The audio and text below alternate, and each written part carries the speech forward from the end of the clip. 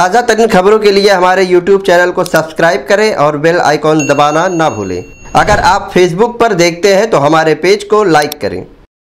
नमस्कार, मैं हूँ फिरोज हाशमी। मुमरा के अमृत नगर दरगाह से कुछ तस्वीरें सामने आ रही हैं, जो हज़रत बाबा फखरुद्दीन शाह दरगाह की है। इस तस्वीर में दरगाह के सहन यानी आँगन में चारों तरफ़ पानी ही पानी भरा हुआ है। यहाँ तक दरगाह में कमर तक पानी हो गई है, जिसको लेकर स्थानीय लोगों में काफ़ी नाराज़गी दिखाई दे रही है। आप देख सकते हैं, ये तस्वीर है मुमरा के अमृत नगर दरगाह की, जो पानी से पूरा आँगन भरा हुआ है। और इसी को लेकर प्रहार टाइम्स की संवाददाता सबिया शेख ने ग्राउंड रिपोर्टिंग किया है, जिस तरह से दरगाह में पानी भरा है, उसको लेकर स्थानीय लोगों ने क्या कहा है? आप सुनिए। आपका प्रहार टाइम से मैं सबिया हुसैन शेख। हम खड़े हैं अमृत नगर परिसर में। आप देख सकते हैं किस तरह से बाबा फखरुद्दीन शाह बाबा की दरगाह में पानी भर गया है और यहाँ के रहीवासी कुछ कहना चाहते हैं क्या जानकारी देना चाहते हैं? आइए उनसे बात करते हैं। आपका नाम? मेरा नाम राशिद खान है। तो मैं यहीं पर आप देख रहे हो यहाँ पर पानी कितना भरा हुआ है। ये अब ये पहली बार पानी नहीं भरा है कि मतलब अगर कोई बोले कि हमें मौका नहीं मिला यहाँ पर पानी भरा है हमें पता नहीं हम जानते नहीं है बहुत टाइम से पानी भर रहा है इस बारिश में। और इसका जो यहाँ पर जो है ना सिर्फ़ इल्ज़ाम एक दूसरे के ऊपर डालने का काम किया जा रहा है जैसे यहाँ के कॉरपोरेटर है जैसे यहाँ के एम है तो कोई भी पार्टी हो। अभी आप देखोगे कि ये शहनशाह मुमरा है तो यहाँ पर किसी कॉरपोरेटर के घर पर पानी नहीं भरा है लेकिन यहाँ पर आस्थाने में पानी भरा है। यहाँ पर जो लोग आते हैं मतलब उर्स वगैरह में आते हैं बहुत दूर दूर से लोग आते हैं ये अभी कहाँ गायब है? तो ये पहली बार भरा या पहली बार नहीं भरा, इससे पहले भी बहुत बार पानी यहाँ पर यही साल भरा है, इससे पहले नहीं, यही साल भरा है। लेकिन यहाँ पर किसी की तवज्जो यहाँ पर नहीं है, सबकी तवज्जो अपनी सीट, अपनी सत्ता पे है।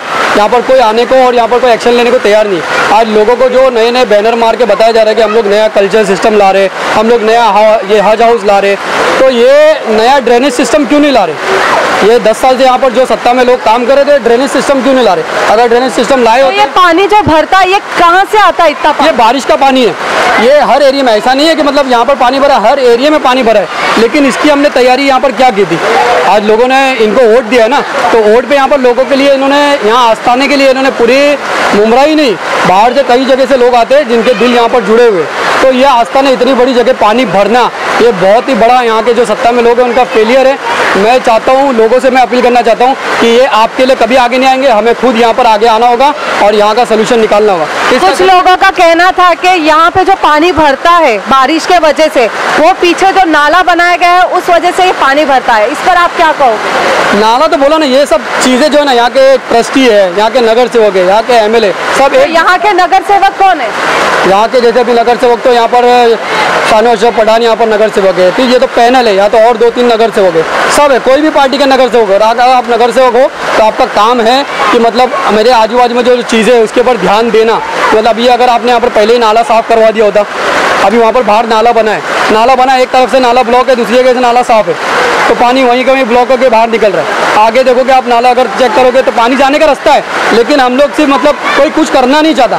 अगर अगर अभी यहाँ के लोग ठान ले, नगर सेवक या एमएलए वगैरह यहाँ के ठान ले, जो सत्ता में है वो लोग ठान ले, मैं बोलता हूँ एक चार घंटा भी नहीं लगेगा पानी खाली होने के लिए। लेकिन हमको सिर्फ़ वही वोट से और हमारी सत्ता से मतलब है यहाँ आस्थाने पे और लोगों से क्या हो रहा है उससे हमें मतलब नहीं है। यहीं पे दरगाह पे जियारत करने के लिए कुछ लोग आए हुए हैं।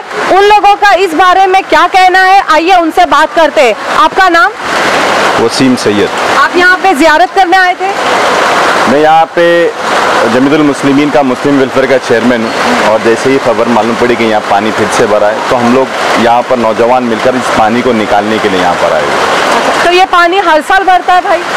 देखिए ये पानी जिससे अब देख रहे हैं ये सहन जो है वो नीचे की तरफ़ है। अच्छा। और यहाँ पर जो है वो आसपास के इलाकों से जो बारिश का पानी आ रहा है ये यहाँ पर भरते जा रहा है। जो भी इसके मसाइल और जो भी इसके जो भी ज़रूरत जो होने चाहिए इसके यहाँ से निकालने के लिए बाबा फखरुद्दीन शाह बाबा जो है आज पूरे मुमरा के लिए एक फ़ख्र का एक निशान है हमारे लिए। हमारी बहुत ज़्यादा अकीदत है उनसे। हम लोग सब बहुत ज़्यादा उनको मानते हैं। तो हम ऐसा चाहते हैं कि जो नौजवान लोग जितने भी यहाँ इस इलाके के हैं, फ़िलहाल जो ये पानी भरा हुआ है, फ़ौरन यहाँ पहुँच इस पानी को निकालने की तदबीर बनाएँ। और हम फौरी तौर पर, हंगामी तौर पर मैं भी यहाँ पर, मैं खुद ऐलान कर देता हूँ कि मैं इंशाल्लाह कोशिश करूँगा यहाँ पर ये पानी निकालने के लिए सबसे पहले एक पंप लगाया जाए। किसी के पैसे की ज़रूरत नहीं बाफ़कर की मोहब्बत के अंदर इंशाल्लाह हम लोग अपने पैसों से ये काम करेंगे। और आसपास के इलाके का अगर ये नाली की वजह से ये प्रॉब्लम हो रहा है तो कल के कल अगर ये प्रॉब्लम सॉल्व नहीं हुई तो जो भी इसके अंदर इन्वॉल्व है। उसके मुँह पे कालिक पोत देंगे हम। यहाँ के आसपास लोगों का कहना है कि ये जो गटर बनाया गया है दरगाह के पीछे बाजू से ये पहले नहीं था ये अभी अभी बनाया गया है। तो आप बता सकते हैं क्यों बनाया गया इस तरफ़ गटर?